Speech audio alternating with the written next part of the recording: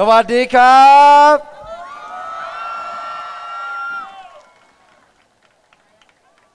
เต็มพื้นที่เลยวันนี้ เต็มพื้นที่เลย อาจารย์ปิยบุตรแนะนำผมไว้แล้ว แต่แนะนำไม่หมด เนื่องจากการผิดพลาดของผมในรอบสัปดาห์สองสัปดาห์ที่ผ่านมา เขาจะตัดเงินผู้ช่วยหาเสียงผมแล้ว ทุกท่านครับ ขอบคุณทุกคนจริง ๆ ที่สละเวลาในช่วงเวลาเย็น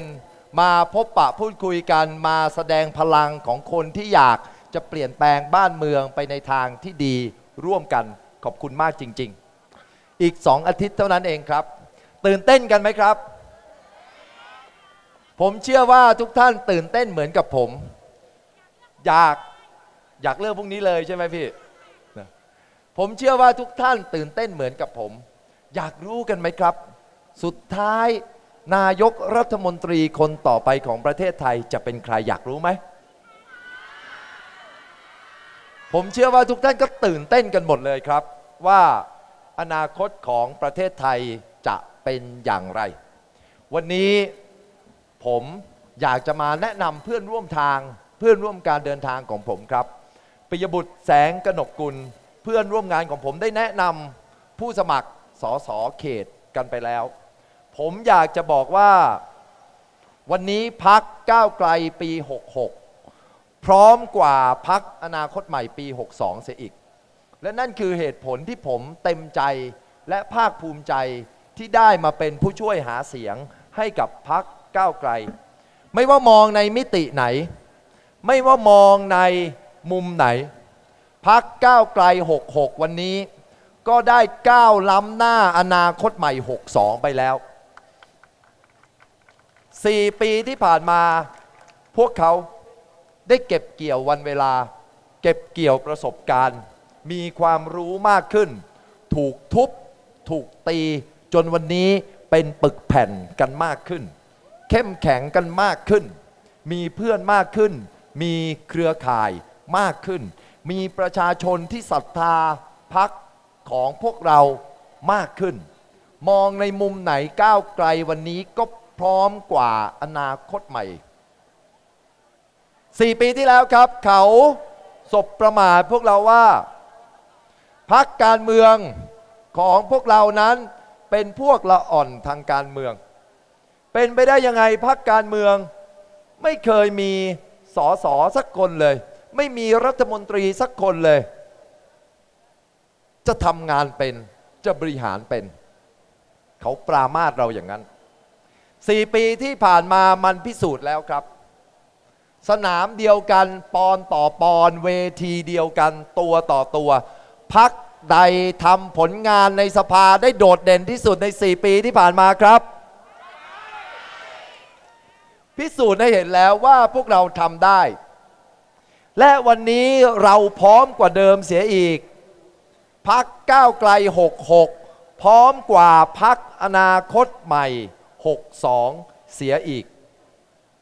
และจะมาเล่าให้ฟัง มาโชว์ตัวมาโชว์บุคลากรของพวกเราให้ฟังว่าพวกเราพร้อมยังไง ท่านแรกผมขอเชิญ วรรณวิภาไม้สนหรือคุณมด party list อันดับ 32 จากพรรคก้าวไกลครับ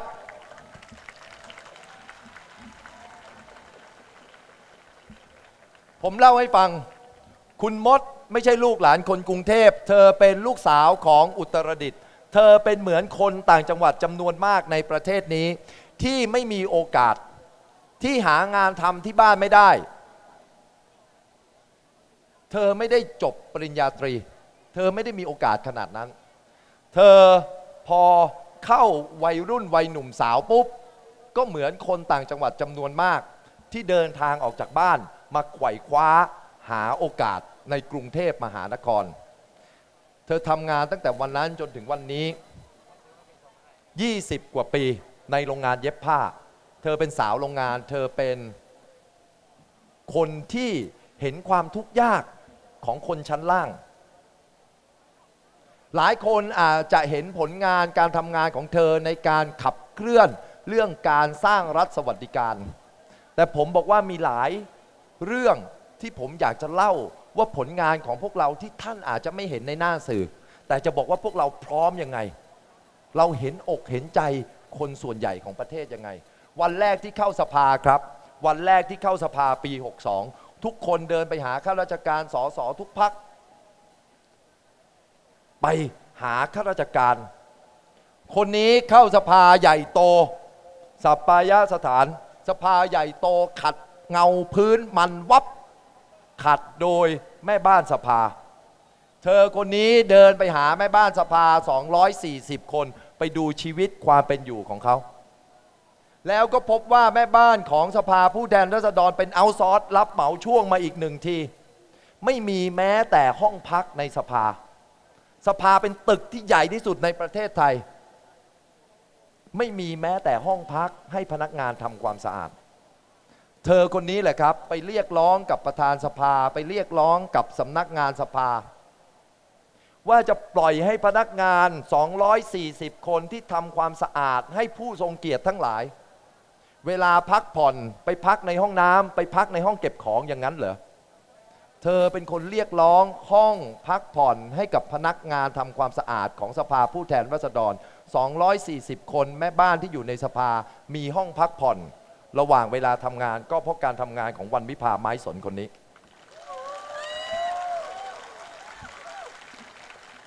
นี่คือความพร้อมของพวกเราเพราะอะไร เพราะคนมันเคยลำบากมาก่อน มันมองตากันก็เข้าใจ เราต้องการคนที่เข้าใจหัวจิตหัวใจของคนส่วนใหญ่ของประเทศ เข้าไปทำงานในสภาผู้แทนราษฎร นี่คือความภาคภูมิใจที่ผมได้มอบหมาย อันดับ 3 ของ party list ของพรรคอนาคตใหม่ให้กับเธอ ทุกท่านครับท่านต่อไปผมขออนุญาตเชิญสอสอเอิร์ธประกรณ์วุฒิขึ้นมาหน่อยครับ นี่คนนี้ความภาคภูมิใจของพวกเราอีกหนึ่งคน เอิร์ธ ปกรณ์วุฒิคนนี้แต่ก่อนเป็นมือดนตรี เป็นมือเบสของวง Basher นี่ ก่อนเข้ามาทำงานการเมือง คนนี้เป็นหนึ่งใน co-founder ของธุรกิจสตาร์ทอัพ Stock Radar เข้าใจธุรกิจสตาร์ทอัพเข้าใจเทคโนโลยีสมัยใหม่เป็นอย่างดี ผลงานที่น่าตื่นเต้นมากที่สุดของเขามีหลายเรื่อง แต่หนึ่งเรื่องที่เขาประหยัดเงินภาษีให้กับพ่อแม่พี่น้องประชาชนได้อย่างมหาศาลเขาต่อสู้กับอิทธิพลกับการคอร์รัปชันอย่างตรงไปตรงมา เมื่อสองเดือนที่แล้วถ้าใครจำได้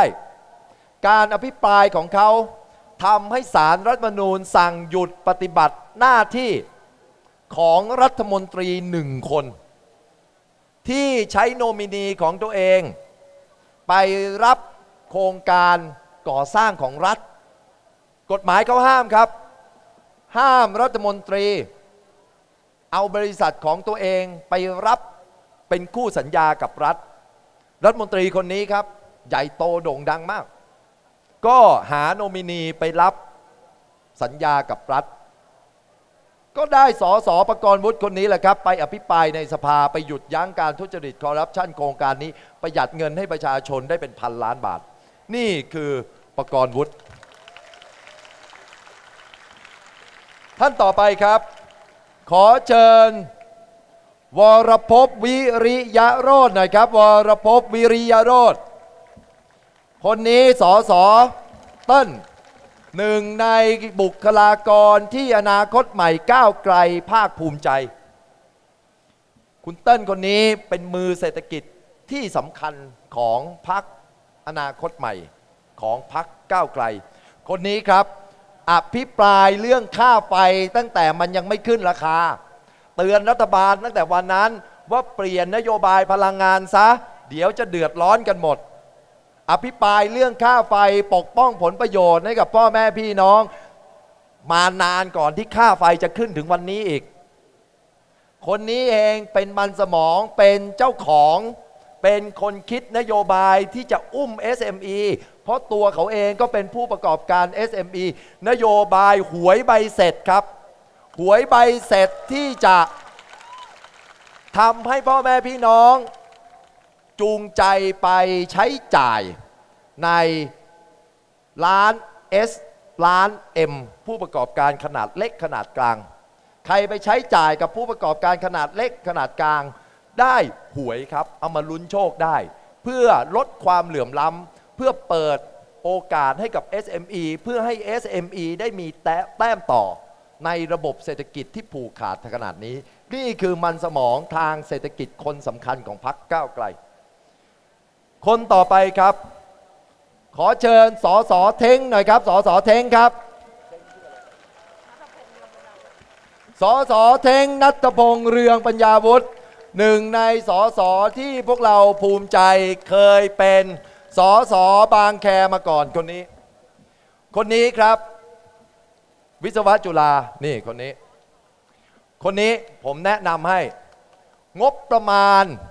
งบประมาณของรัฐปีละ 3.3 ล้านล้าน พวกเราพักอนาคตใหม่พักก้าวไกลเคยขอทำไมให้เป็นกระดาษ เดี๋ยวนี้ไม่มีใครมาวิเคราะห์งบในกระดาษกันแล้ว โลกมันสมัยใหม่กันแล้ว ขอเป็น PDF ขอเป็น Excel ไม่เคยได้ครับ หน่วยงานรัฐไม่เคยให้ครับ คนนี้บอกไม่เป็นไร เขียนระบบขึ้นมาเอง เขียนอัลกอริทึมขึ้นมาเอง แปลเอกสารงบประมาณเป็นหมื่นหมื่นหน้า ที่เป็นเอกสารกระดาษ กลายเป็นไฟล์ Excel ใครอยากจะตรวจสอบงบประมาณรัฐ 3.3 ล้านวันนี้ เข้าไปดูที่ Facebook ของเขาได้ มีลิงก์แนบไปต่อไปเอกสารงบประมาณเป็น Excel หมดเลย ใครอยากจะตรวจสอบเรื่องอะไร ตรวจสอบหาได้ทันที นี่เป็นผลงานของนัทพงษ์เรืองปัญญาวุฒิ ท่านต่อไปครับ ขอเชิญสสนัทีพัฒน์และคุณก๊อฟด้วยครับ คุณก๊อฟครับ คุณเตอร์นัทีพัฒน์และคุณก๊อฟธันวารินครับ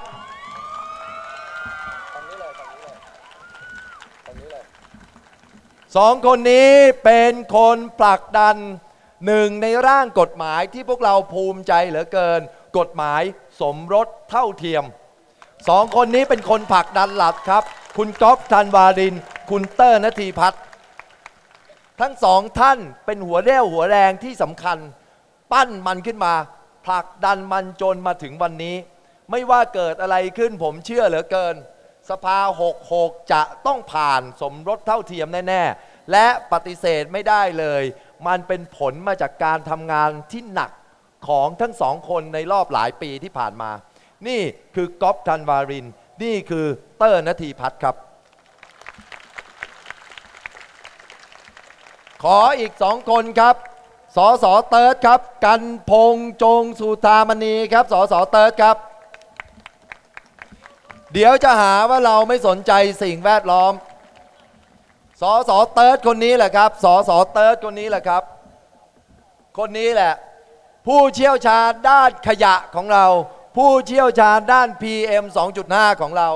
นี่เป็นประธานอนุกรรมาธิการเรื่องสิ่งแวดล้อมเรื่องขยะเรื่อง PM 2.5 นี่คือสอสอเติร์ดของเรา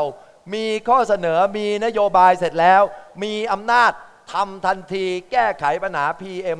2.5 ไม่ปล่อยให้เรื้อรังมา4 5 5ปีแบบนี้ เลือกตั้ง 62 ก็เจอปัญหานี้แล้วถูกไหมครับ 4 5 5ปีปัญหาไม่ได้แก้ไขซ้ำยังรุนแรงขึ้นไปอีก คนนี้สอสอเติร์ดของเรามีข้อเสนอพร้อมเรียบร้อยแล้ว แก้ไขปัญหา PM 2.5 แก้ไขปัญหามลภาวะทางขยะที่อยู่ในประเทศไทย และคนสุดท้ายครับ ไม่ต้องแนะนำกันเยอะผู้ชายคนนี้ไม่มีอะไรต้องแนะนำวิโรธลัคนาอดิศรครับ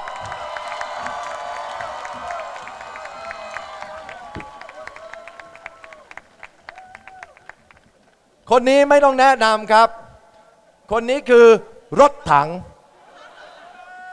กล้าเผชิญหน้ากับความอายุติธรรมอย่างตรงไปตรงมาหนึ่งอย่างที่ผมประทับใจกับคุณวิโรธมาก การอภิปรายของคุณวิโรธในการอภิปรายไม่ไว้วางใจครั้งแรกจำได้ไหมครับ คนนี้เองเป็นอุกบาททำลายลังไอโอของทหาร เป็นคนที่ทำให้พี่น้องประชาชนเข้าใจ ว่าใครกันแน่ที่สร้างความเกลียดชังในประเทศนี้ นี่วิโรธลัคนาอดีศรเชิญเพื่อนๆผมขึ้นมาทำไมครับ เพื่อบอกทุกท่านว่าจะเอาด้านไหนล่ะพักก้าวไกลพร้อมพักก้าวไกลพร้อมจะขับเคลื่อนประเทศไปข้างหน้า จะเอาสายเทคเราก็มีสายสิ่งแวดล้อมเราก็มี เอาสายความเท่าเทียมทางสังคมเราก็มี เอาสายแรงงานเราก็มี เอาสายเศรษฐศาสตร์เราก็มี เอารถถังไปเผชิญหน้ากับความอายุติธรรมเราก็มี จะเอาอะไรจะเอาแบบไหนมีหมดเลย เอานายกเหรอพิธาอยู่ไหนนะ นายกไปเชียงใหม่ พิธาอยู่เชียงใหม่ ทุกท่านครับ ผมมีข่าวร้ายจะบอก ผมมีข่าวร้ายจะบอก มีคนอย่างนี้กี่คนในประเทศนี้ก็เปลี่ยนแปลงประเทศนี้ไม่ได้ ปัญหาไม่ใช่ประเทศไทย ไม่มีนักเชี่ยวชาญเชิงประเด็น ปัญหาของประเทศไทยไม่ใช่ว่าเราไม่มีนักสิ่งแวดล้อม ปัญหาของประเทศไทยไม่ใช่ว่าเราไม่มีนักสาภาพแรงงาน ปัญหาของประเทศไทยไม่ใช่ว่าเราไม่มีนักพัฒนาเทคโนโลยี ปัญหาของประเทศไทยยืนยันกันอีกครั้ง ไม่ใช่ปัญหาเชิงประเด็น ถ้าเป็นปัญหาเชิงประเด็น4 5 ปีที่ผ่านมาต้องแก้ไข PM 2.5 ได้แล้ว ถ้าเป็นปัญหาเชิงประเด็น น้ำท่วมป่านนี้ต้องจัดการได้แล้ว ถ้าเป็นปัญหาเชิงประเด็นทุ คนทุกพักพูดถึงความเหลื่อมล้ำทำไมไม่มีการแก้ไข ผมเสียใจที่จะบอกทุกท่านว่า ปัญหาวันนี้ ถ้าไม่แก้ไขปัญหาโครงสร้างทางการเมือง เราพาประเทศไทยไปไกลกว่านี้ไม่ได้เลย และนั่นคือเหตุผลครับ นั่นคือเหตุผลที่เราใช้คำขวัญในการเลือกตั้งปี 66 ว่ากา ก้าวไกลประเทศไทยไม่เหมือนเดิม พวกเราเดินทางไปเหนือจดใต้ พวกเราเดินทางตั้งแต่ตะวันตกถึงตะวันออก เห็นพ่อแม่พี่น้องหลายคนเหลือเกิน พูดกับพวกเราว่ากาพักไหนก็เหมือนเดิม เลือกใครไปก็เหมือนเดิม เลือกตั้งกี่ครั้งประเทศไทยก็เหมือนเดิม เคยได้ยินคำพูดนี้ไหมครับ และนั่นคือที่มาของคำขวัญการเลือกตั้งของเรา เราจะดึงให้พ่อแม่พี่น้องประชาชนกลับมาศรัทธาในการเมืองอีกครั้ง อย่าเพิ่งหมดหวังกับประชาธิปไตย อย่าเพิ่งหมดหวังกับบัตรเลือกตั้ง อย่าเพิ่งหมดหวังกับการเมือง เราจะพิสูจน์ให้ดูว่าประเทศไทยไม่เหมือนเดิมได้ เราจะพิสูจน์ให้ดูว่าประเทศไทยดีกว่านี้ได้ เราจะพิสูจน์ให้ดู ว่าประเทศไทยไปไกลกว่านี้ได้ เราจะดึงศรัทธาของประชาชนให้กลับมาเชื่อมั่นในประชาธิปไตย ให้กลับมาเชื่อมั่นในบัตรเลือกตั้งอีกครั้งหนึ่ง อะไรที่ทำให้พวกเรามั่นใจว่าเราจะทำแตกต่างจากคนอื่นได้คำตอบอย่างที่เราพูดเสมอครับ พวกเรากล้าชนกับปัญหาที่ต้นต่อ พวกเราขอแก้ปัญหาเชิงโครงสร้าง ถ้านับดูว่าความขัดแย้งทางการเมืองที่ผ่านมาเกิดจากอะไร ความขัดแย้งทางการเมืองที่ผ่านมา จุดเริ่มต้นมาจาก 19 กันยา 2549 รัฐประหารเดือนกันยา 2549 ถ้าใครเกิดในยุคเดียวกับผม รุ่นราวคราวเดียวกับผม ปีนี้ผมอายุ 45 ปี ผมเกิดปี พศ 2521 ช่วงปีที่สร้างเนื้อสร้างตัวสร้างการรับรู้ปัญหาทางสังคมและการเมือง ก็คือวัยที่ผ่านเหตุการณ์พฤษภา 2535 ใครที่ผ่านเหตุการณ์นั้นมาด้วยกันย่อมจะคิดคล้ายกับผม ในวันนั้นเราเคยคิดว่า ประเทศไทยจะไม่มีรัฐประหารอีกแล้ว หลังจากพฤษภาธมินถูกไหมครับ ใช่ไหมครับ ใครที่ผ่านมาแล้วย่อมไม่นึกว่าหลังจากพฤษภาธมินเราจะมีรัฐประหารอีกครั้ง แต่แล้วก็เกิดขึ้นอีกในเดือนกันยา 2549 และนั่นคือจุดเริ่มต้นของความขัดแย้งทางการเมืองครั้งนี้ ผ่านมา 17 ปีแล้ว เราก็ยังออกจากความขัดแย้งทางการเมืองนี้ไม่ได้ ทรัพยากรทุกอย่างเวลาของผู้บริหารงบประมาณของประเทศ มันถูกเอาไปห้ำหั่นกัน มันถูกเอาไปเพื่อ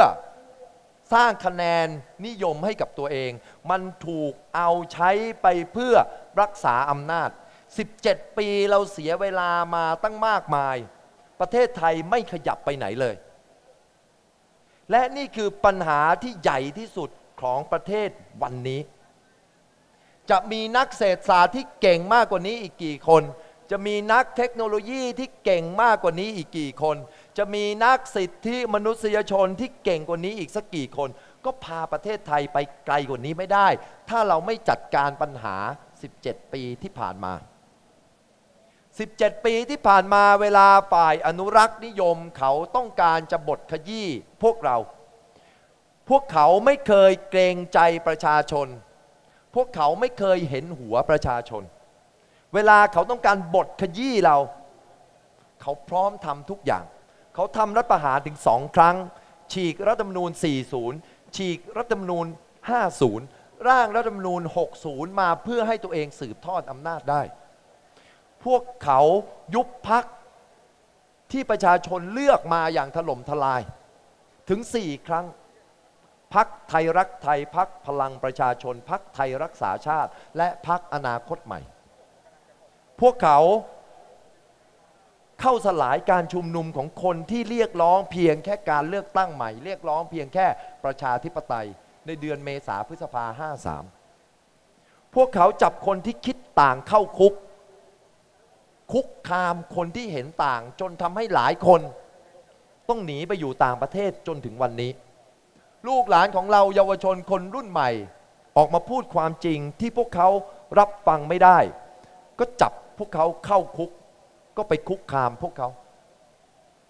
นิติรัฐนิติธรรมในประเทศนี้ไม่ต้องพูดถึง ถูกบิดเบือน เพื่อให้พวกเขาทำอะไรก็ได้ไม่ผิด อีกฝ่ายหนึ่งทำอะไรก็ผิดตลอดเวลา เห็นไหมครับ เวลาพวกเขาต้องการจะบทขยี้ประชาธิปไตย เขาไม่เคยเกรงใจประชาชนเลย ผมเชิญชวนทุกคนว่านี่คือเวลาที่ดีที่สุด นี่คือเวลาของความทะเยอทะยาน นี่ไม่ใช่เวลาคิดเล็กคิดน้อย นี่เป็นเวลาของการคิดใหญ่ 17 ปีที่ผ่านมาไม่มีช่วงเวลาไหนที่ฝ่ายอนุรักษ์นิยมจะอ่อนแรงเท่านี้อีกแล้ว เราไม่จำเป็นต้องเลือก ระหว่างการแก้ปัญหาเศรษฐกิจปากท้อง กับการแก้ไขปัญหาทางการเมืองที่ยาก แต่จำเป็นต้องทำเพื่อลูกหลานของเราสองเรื่องนี้ไม่จำเป็นต้องเลือกทางใดทางหนึ่งทำไปได้พร้อมๆกัน รัฐมนตรีมีตั้งเยอะแยะครับ ใครเป็นรัฐมนตรีกลาโหม ก็ไปปฏิรูปกองทัพครับ ใครเป็นรัฐมนตรีศึกษาธิการก็ไปปฏิรูปการศึกษานำพาให้การศึกษาส่งเสริมค่านิยมที่ก้าวหน้า ค่านิยมที่ทันยุคทันสมัย ใครเป็นรัฐมนตรีพาณิชย์ ก็เอาสินค้าของไทยไปขายในตลาดโลก ไม่จำเป็นต้องทำทีละเรื่องทำพร้อมๆกันได้ และนั่นคือข้อเสนอของพรรคก้าวไกล ว่าเวลานี้เหมาะสมที่สุดที่จะผลักดันวาระยากๆวาระที่จำเป็นปฏิรูปที่ยากๆปฏิรูปที่จำเป็นในสังคมไทยคำถามไม่ใช่เลือกอย่างใดอย่างหนึ่ง คำถามที่ผมอยากถามท่านหนักๆ ในสองอาทิตย์ก่อนวันเลือกตั้งคือ ถ้าไม่ทำวันนี้จะทำวันไหนครับ ถ้าไม่ทำวันนี้จะทำวันไหน ผมคิดว่านี่คือคำถามที่สำคัญคือคำถามแห่งยุคสมัย และคำตอบในวันที่ 14 พฤษภาคมนี้จะเป็นตัวชี้วัด บัตรใบแรก บัตรพรรค บัตร party list จะเป็นตัวชี้วัดว่าวันนี้สังคมไทย พร้อมที่จะเดินไปข้างหน้าไหม พร้อมที่จะเผชิญกับปัญหาที่สำคัญอย่างมีวุฒิภาวะ สังคมไทยพร้อมไหม ที่จะดึงปัญหาที่ถูกซุกไว้ใต้พรมมานานแสนนาน เอาขึ้นมาพูดกันอย่างมีวุฒิภาวะ พร้อมหรือยัง บัตรพรรค บัตร party list จะเป็นตัวชี้วัด และมันชี้วัดได้ครับ เพราะอะไร เพราะพวกเราตรงไปตรงมาอย่างนี้นะครับใน 4 ปีที่ผ่านมา ถ้าพวกเราบิดเบี้ยวไปพูดเป๋ไปเป๋มา บัตรนี้ก็ใช้ชี้วัดอะไรไม่ได้ แต่บัตรนี้ใช้ชี้วัดความต้องการความก้าวหน้าของสังคมได้ เพราะที่ผ่านมาพวกเขาตรงไปตรงมา บัตรใบที่สองครับ บัตรใบเขต บัตรใบเขตสำคัญยังไง การปฏิรูปที่ยากๆแต่จำเป็น จะทำได้ ต้องมีอำนาจ และอำนาจมาจากจำนวนนับมาจากจำนวนสอสอถ้าอยากจะผลักดันวาระที่ยากๆได้จำเป็นต้องมีสอสอจำนวนมากในสภา บัตรพักบัตรปาร์ตี้ลิสต์คือการวัดว่าสังคมพร้อมหรือยังที่จะก้าวไปข้างหน้า พร้อมหรือยังที่จะะเผชิญหน้ากับความท้าทาย บัตรเขต คือการเอาคนเข้าไปผลักดันวาระต่างๆ เหล่านั้นให้เป็นจริง นี่คือความสำคัญของการเลือกก้าวไกลสองใบ 14 พฤษภาคมนี้ อนาคตของประเทศไทย อยู่ในมือทุกท่านอยู่ในการตัดสินใจของทุกท่าน พวกเราพักก้าวไกล บอกกับพี่น้องทุกท่านว่าพวกเราพร้อม ที่จะเข้าไปแก้ปัญหาเศรษฐกิจ เข้าไปแก้ปัญหาสิ่งแวดล้อม เข้าไปแก้ปัญหาความเหลื่อมล้ำเข้าไปแก้ปัญหาสิทธิมนุษยชน เข้าไปแก้ปัญหาการเมืองที่ยากๆเหล่านี้ไปพร้อมๆกัน ท่านเป็นคนเลือกว่าอยากเห็นประเทศไทย ก้าวหน้าก้าวไกลไปแค่ไหนจำนวนเสียงจะเป็นตัวชี้วัด พวกเราบอกว่าขอโอกาส ให้พวกเราเข้าไปทำงาน จ้างพวกเราด้วยกากบาทของท่าน จ้างพวกเราด้วยกากบาทของท่านให้พวกเราไปทำงาน ทุกพักที่อยู่บนกระดานการเมืองตอนนี้ ไม่ยาวก็สั้น ไม่มากก็น้อย เคยบริหารประเทศมาทั้งหมดแล้ว มีอยู่พักเดียวที่เป็นพักหลักบนกระดานการเลือกตั้งวันนี้ ที่ยังไม่เคยบริหารประเทศก็คือพักก้าวไกล จะไม่ลองแทงม้าตัวนี้ดูหน่อยเหรอครับ จะไม่ลองเดิมพันกับพักนี้ดูหน่อยเหรอครับ ทุ่มสุดตัวเลยพี่เขาบอก ลองเดิมพันกับพวกเราดูสักครั้งถามผมถามท่านดู ถามท่านดูลองตอบคำถามนี้ดูถ้าทุกท่านเลือกพักก้าวไกลให้ถล่มทลาย เลือกพักก้าวไกลทั้งกรุงเทพ ท่านมีอะไรเสียไหมครับ ไม่มีอะไรเสีย เสมอตัวอย่างเลวร้ายที่สุดก็เสมอตัว ถ้าพวกเขาทำไม่ได้ ท่านก็แค่เสมอตัว แต่ถ้าเกิดว่าเราทำได้ขึ้นมาล่ะ แต่ถ้าเกิดว่าเราทำได้ขึ้นมาล่ะ ถ้าเกิดว่าเราแก้ปัญหาที่ต้นตอได้ล่ะ ถ้าเกิดว่าเรายกเลิกการเกณฑ์ทหารแบบบังคับได้ล่ะถ้าเกิดว่าเรายุติการทุจริตคอร์รัปชันได้ เปลี่ยนงบประมาณนั้นมาสร้างรัฐสวัสดิการได้ล่ะ ถ้าเกิดว่า เราผ่านกฎหมายสมรสเท่าเทียมได้ล่ะ ถ้าเกิดว่าเรายกเลิกการผูกขาดในระบบเศรษฐกิจได้ล่ะ ถ้าเกิดว่าเรายกเลิก ถ้าเกิดว่าเราปฏิรูประบบราชการลดการรวมศูนย์ที่ศูนย์กลางได้ล่ะ ถ้าเกิดว่าเราทำสิ่งต่าง ๆ เหล่านี้ได้ล่ะ เกิดอะไรขึ้น ประเทศไทยไม่เหมือนเดิม ไม่ลองเดิมพันกันดูหน่อยแล้วครับ เริ่มพันครั้งนี้ มีแต่เจ้ากับเจี๊ยไม่ได้ก็เสมอตัว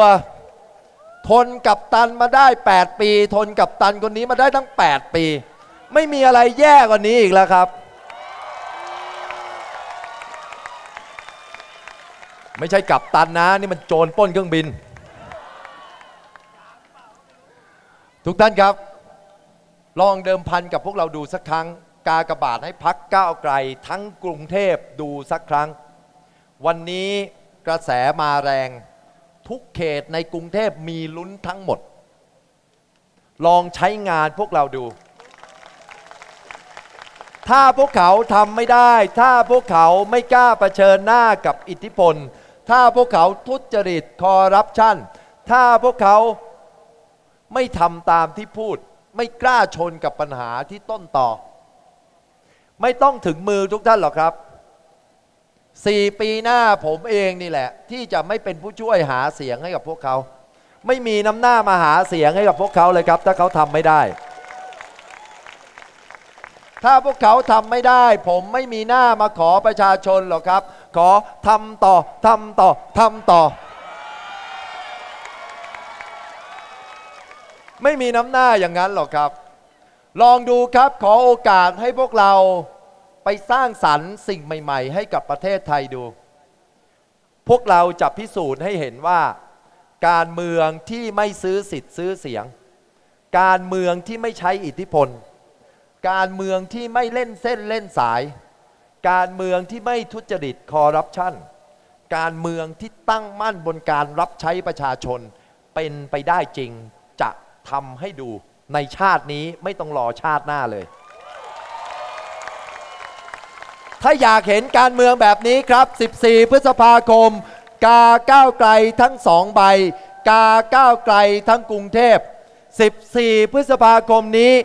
กาก้าวไกลประเทศไทยจะไม่เหมือนเดิมเลยครับ พวกเราพักก้าวไกล ขอขอบคุณทุกท่านครับ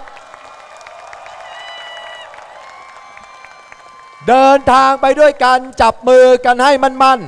เดินทางไปด้วยกันจับมือกันให้มันมันจะสร้างสรรค์สังคมที่ดี จะสร้างอนาคตที่สดใสให้กับลูกหลานของเรา ไม่ใช่การเลือกตั้งครั้งเดียว แต่เป็นการเดินทาง เดินทางไปกับพวกเรายาวๆ เดินทางไปกับพวกเรายาวๆ จับไม้จับมือกันให้มั่น ส่งต่อสังคมที่ดีกว่านี้ให้กับลูกหลาน ให้ลูกหลานเราไม่ต้องเจอกับการทำรัฐประหารอีก ประชาชนจงเจริญ ประชาชนจงเจริญ ประชาชนจงเจริญ ประชาชนจงเจริญ ประชาชนจงเจริญ ประชาชนจงเจริญ ขอบคุณมากครับ สวัสดีครับ